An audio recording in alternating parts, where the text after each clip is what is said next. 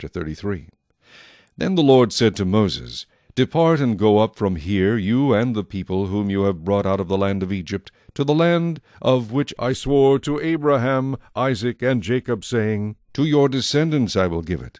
And I will send my angel before you, and I will drive out the Canaanite, and the Amorite, and the Hittite, and the Perizzite, and the Hivite, and the Jebusite. Go up to a land flowing with milk and honey, for I will not go up in your midst, lest I consume you on the way, for you are a stiff-necked people. And when the people heard this bad news, they mourned, and no one put on his ornaments. For the Lord had said to Moses, Say to the children of Israel, You are a stiff-necked people. I could come up into your midst in one moment and consume you. Now therefore take off your ornaments, that I may know what to do to you. So the children of Israel stripped themselves of their ornaments by Mount Horeb. Moses took his tent and pitched it outside the camp, far from the camp, and called it the tabernacle of meeting. And it came to pass that every one who sought the Lord went out to the tabernacle of meeting, which was outside the camp. So it was, whenever Moses went out to the tabernacle, that all the people rose, and each man stood at his tent door, and watched Moses until he had gone into the tabernacle. And it came to pass, when Moses entered the tabernacle, that the pillar of cloud descended and stood at the door of the tabernacle. And the Lord talked with Moses.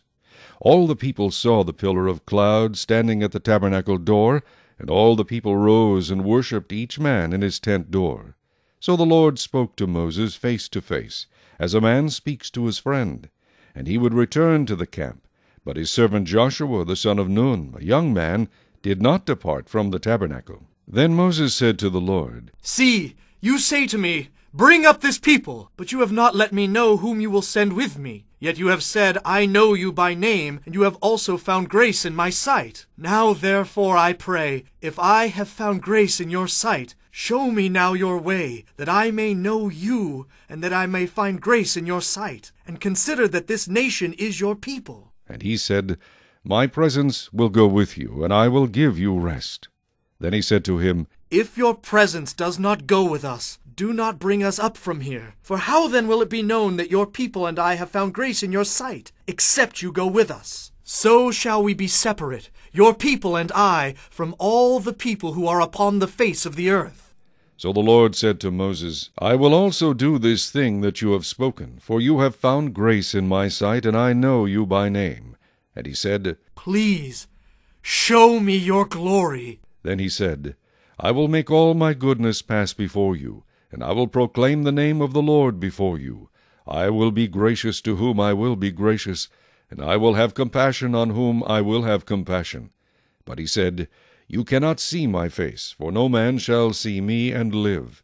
And the Lord said, Here is a place by me, and you shall stand on the rock. So it shall be, while my glory passes by, that I will put you in the cleft of the rock, and will cover you with my hand while I pass by. Then I will take away my hand, and you shall see my back, but my face shall not be seen.